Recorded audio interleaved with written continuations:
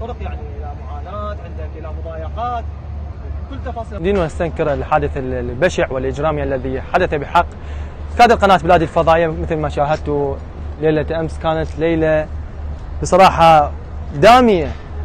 حرق سيارة ال SNG التي تقف بصف مقر قناة بلاد الفضائية.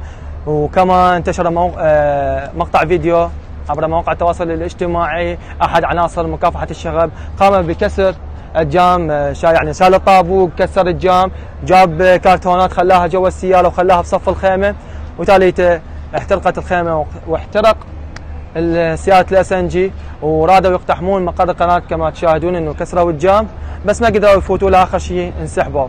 فإحنا ندين ونستنكر هذا العمل الإجرامي ونحمل القائد العام للقوات المسلحة مصطفى الكاظمي على هذا الفعل الشنيع كونه هو القائد العام للقوات المسلحة.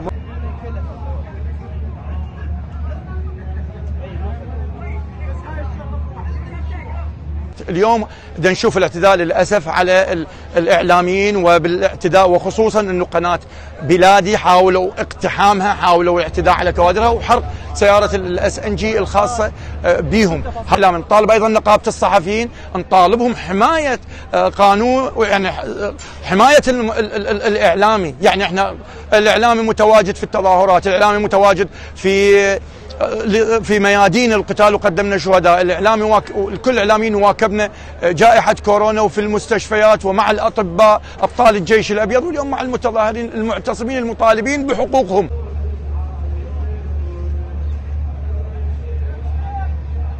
نقابة الصحفيين إلى غاية الآن لم تبدي أي بيان حول الاعتداءات والقمع والضرب وتكسير الأجهزة أجهزة البث المباشر كما هو خلفي التابعة لقناة بلادي وتم حرقها بشكل متعمد وبشكل يوضح أن هناك أجندة وغايات وراء هذه الأساليب القمعية. قنوات محلية تعرضت لضرب مثل قناة بلادي وقناة العهد الفضائية وباقي القنوات وحتى القنوات العربية ككادر قناة الجزيرة الذي تعرض آه، ليلة البارحة أيضا لاعتداءات وضرب. تصرف بوحشية مع المتظاهرين ومع الإعلاميين وخصوصا القنوات الشيعية آه، قنوات الاتحاد الشيعي.